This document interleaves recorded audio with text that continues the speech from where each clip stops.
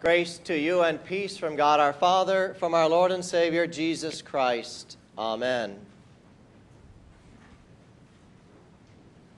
Follow with me as I simply walk through our Holy Gospel for today.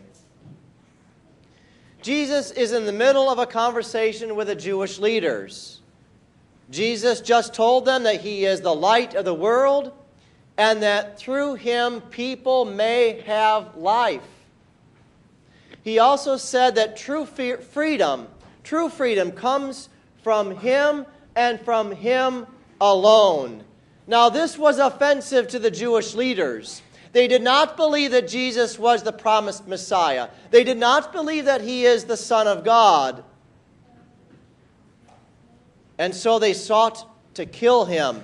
They could not bear to hear Jesus' word. They could not stand what he had to say. And yet, they claimed to have God as their Father. Jesus said, If God were your Father, you would love me. For I came from God, and I am here. I came not of my own accord, but He sent me. This is true. God the Father sent his Son to redeem mankind. It is as if he said, My Son, go. Go and rescue fallen mankind. Redeem them from death. Defeat their enemy, the devil, and make payment for their sin. And it is as if Jesus said, Yes, my Father, I will go. I will gladly and willingly go to rescue them from sin, death, and the devil. If the Jewish leaders would follow and believe in Jesus, then they would have God as their Father. But since they do not follow and believe in Jesus, they come from someone else. Jesus said to them, You are of your father, the devil. Wow. It's not a thing to say if you want to make friends. This is very strong language. And Jesus doesn't waste time. He gets to the heart of the matter and he speaks the truth. He speaks the truth of where they are from. Jesus then goes on to describe the work of the devil. He said that the devil was a murderer from the beginning and has nothing to do with the truth because there is no truth in him. When he lies, he speaks out of his own character for he is a liar and the father of lies. So, since Jesus is the second person of the Trinity, he has always been around, and he knows that the devil is a fallen angel. An angel who usurped, attempted to usurp the authority of God. And, and Jesus knows then that the devil tempted Adam and Eve in the garden to eat the forbidden fruit.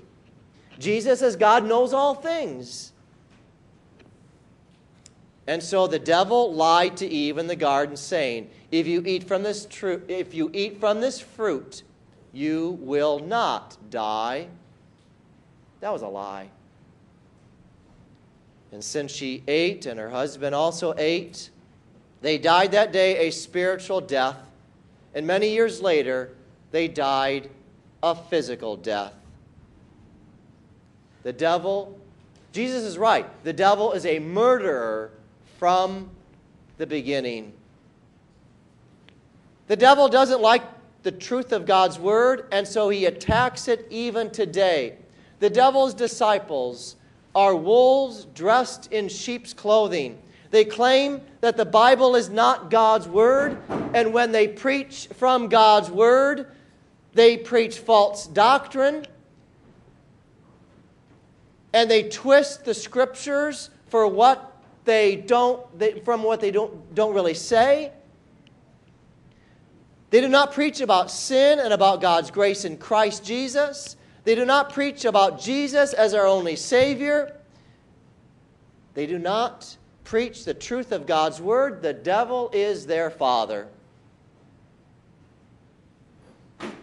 Because Adam and Eve ate the forbidden fruit in the garden of Eden That's why we have the problems we have today. We live in a fallen world where things just aren't perfect. We suffer from trial and tribulation, from, from sickness, from discord and strife.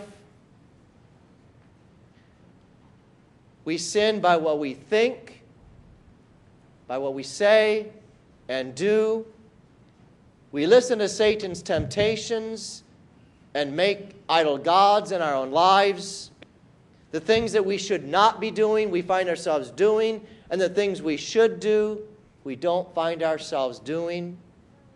We have a sinful flesh inside of us that does not like God and His Word. It is an enemy against God's Word. We have that sinful flesh. It will always be among us and in us here on this earth. Therefore, it is always necessary and important for us to repent of our sins it's always important for us to seek God's mercy and to call upon Him, seeking His forgiveness in Christ. We are sinners, but Jesus is sinless. We are children of Adam, and Jesus is human like us, yet He is also God in human flesh. He is both divine and human. He has come to be our Savior. Jesus asked his Jewish audience, Which one of you convicts me of sin? The point is that Jesus never sinned. He loved his Father with his whole heart, soul, and mind, and he loved his neighbor as himself. Jesus cared about the sick, and so he healed them. He gave sight to the blind and hearing to the deaf. He even raised the dead. And all of these miracles clearly prove that Jesus is the promised Messiah, the Son of God. And furthermore, they prove, and so therefore the Jew, his Jewish audience could not convict him of any sin. Jesus truly is God in human flesh. But rather, what they wanted to do, they sought to do, was to kill him they did not like the fact that Jesus' popularity was increasing. And the Jewish leaders could not convict Jesus of sin, but what they could do was simply call him names. And so they called him a bad name. They called him a Samaritan. Samaritans were half breeds, they were half Jew and half pagan. They, were, they did not follow the covenant of Israel. Furthermore, they called, they identified Jesus as having a demon? Jesus answered them, I do not have a demon, but I honor my Father, and you dishonor me. Truly, truly, I say to you, if anyone keeps my word, he will never see death. We will all die physically. The wages of sin is death. Death is a reality, and we know it. But Jesus is speaking here that one who has faith in Christ will never see eternal death. In Christ alone, we will never die eternally, but we will be with God in heaven eternally. And so Jesus is speaking about an eternal death compared to eternal life. But the Jewish leaders do not get it because they are not of God and they don't know God. And so Jesus said to them, they said to Jesus, Now we know that you have a demon. Abraham died, as did the prophets, yet you say, If anyone keeps my word, he will never taste death. Are you greater than our father Abraham, who died, and the prophets died? Who do you make yourself out to be? You see, Abraham and the prophets certainly died a physical death, but through faith in God's promise, they are alive. They believed in the promise of the coming Messiah. They believed in God's promises of grace and mercy. And so Father Abraham rejoiced to see the coming of the promised Messiah, and he saw it with the eyes of faith and was glad. By faith, Abraham saw God's plan of salvation. And so the Jews said to Jesus, You are not yet 50 years old And have you seen Abraham? Jesus said to them, Truly, truly, I say to you, before Abraham was, I am. Now, that phrase, I am, was a controversial phrase. The title of God in the Old Testament was Yahweh, which simply means I am. God was, God is, and God will be. And so when Jesus identified himself as the I am, he is simply calling himself, he is identifying himself as the one true God. This was so, so offensive to the Jewish leaders that they took up stones and they wanted to stone and kill Jesus right there and then. But Jesus miraculously hid himself and went out of the temple. Jesus did not want to, di- did not want to die a death of stoning that day, but he wanted to die a death of crucifixion on the cross later on. And that's exactly what happened. Later on, Jesus was uh, handed over to Pilate. Pilate sentenced Jesus to death on the cross. And Jesus there even died for his enemies. Even his own enemies, he died for. He still loved them and cared for them. now, we learn from this text what we learn is that just as there was opposition against Jesus back then, so also there is opposition against Jesus today. We also learn that Satan is behind much of this opposition. We are in a battle. We live in the church militant. There is no middle ground. Does the fact that we live in a spiritual warfare offend you? Whose side would you like to be on? Whose side are you on? Are you offended that Jesus treated his enemies too harshly? Would you rather see a softer kind of Jesus? What view do you have of God? Who is Jesus to you? Better yet, who are you? Who am I? The Jewish leaders got offended when Jesus spoke the truth. And when God convicts us of sin, we get offended. We get defensive and try to excuse our sin. We don't like it when the preacher preaches the law because it convicts us, us of our sin and it makes us uncomfortable.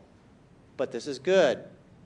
If we ever deny the reality of our sinful condition, then that's one step away from denying the need for a Savior.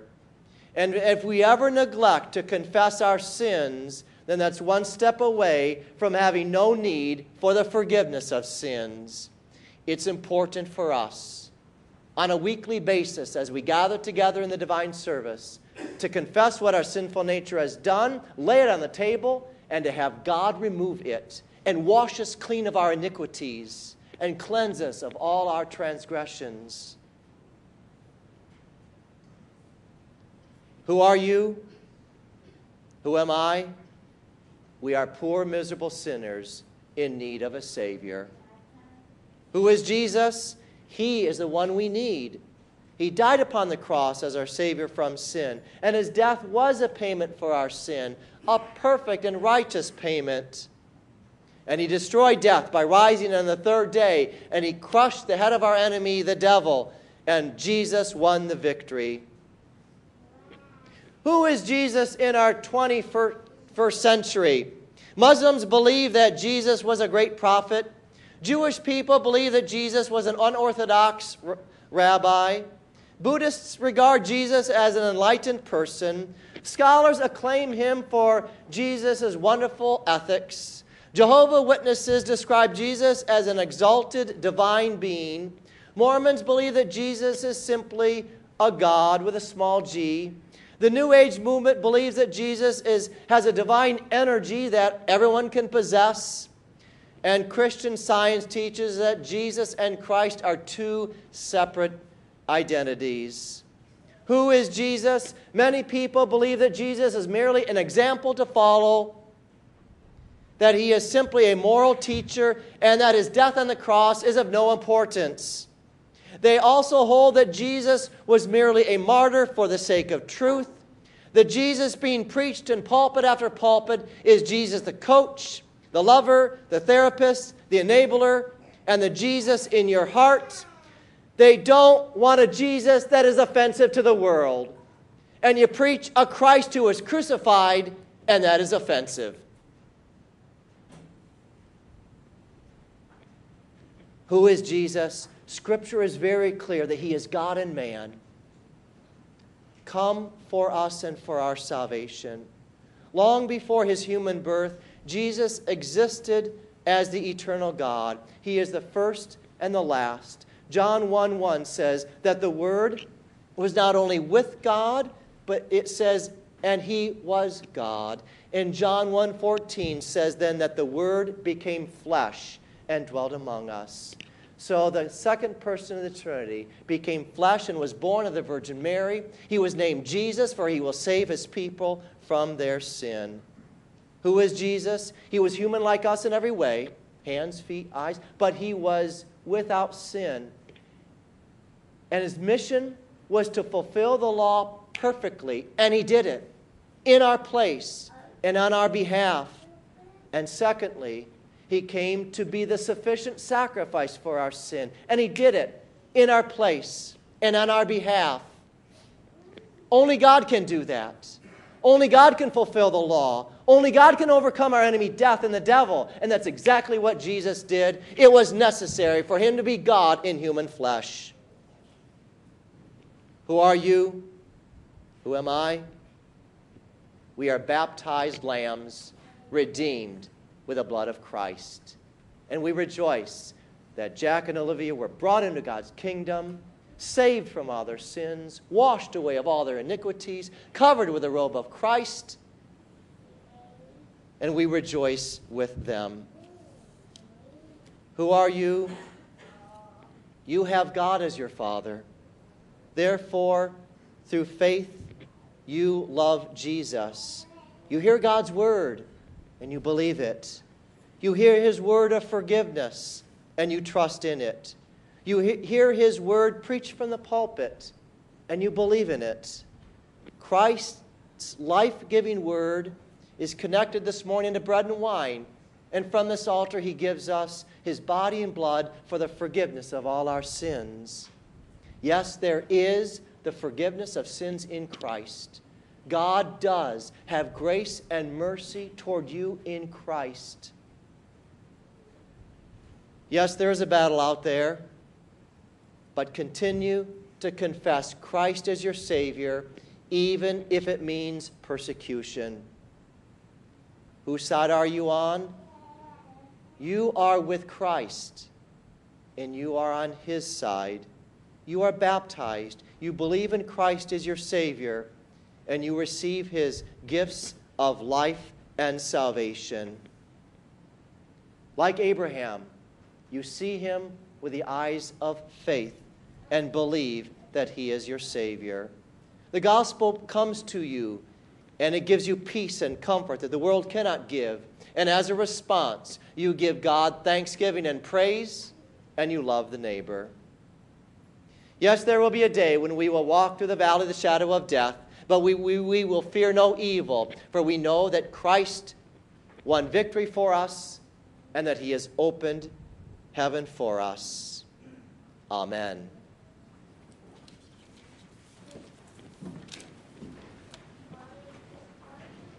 Now may the peace of God, which passes all understanding, keep our hearts and minds in Christ Jesus unto life everlasting. Amen.